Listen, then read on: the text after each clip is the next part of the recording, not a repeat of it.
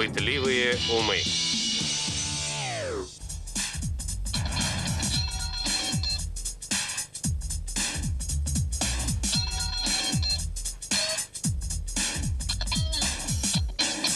Зрительская почта.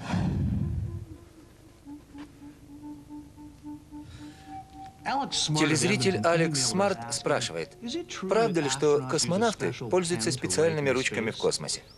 Так вот, Алекс, это правда. Если бы ты хоть раз попробовал писать лежа, держа бумагу над собой, ты бы понял, почему. Обычные ручки в таком положении не пишут, потому что они рассчитаны на силу притяжения, которая двигает пасту вниз.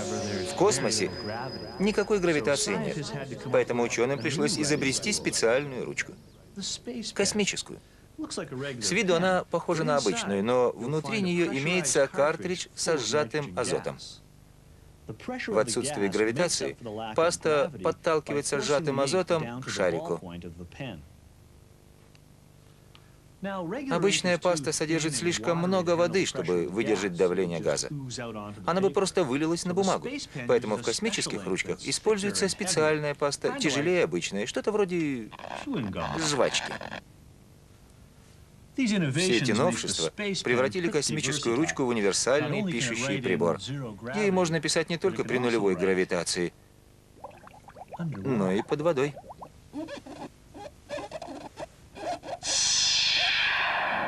Пытливые умы.